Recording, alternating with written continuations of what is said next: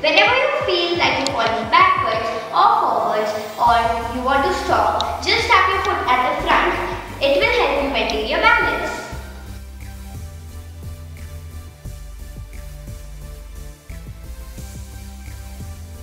Rule number two, your position while gliding. Your position of the feet should not be adjacent like this,